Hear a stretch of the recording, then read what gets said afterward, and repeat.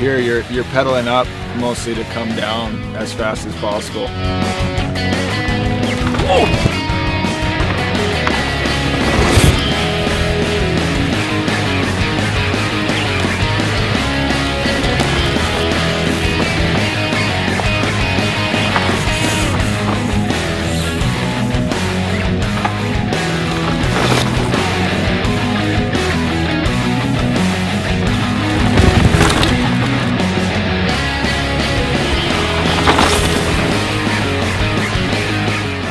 Think the high speed um, tech, you don't really get that anywhere else.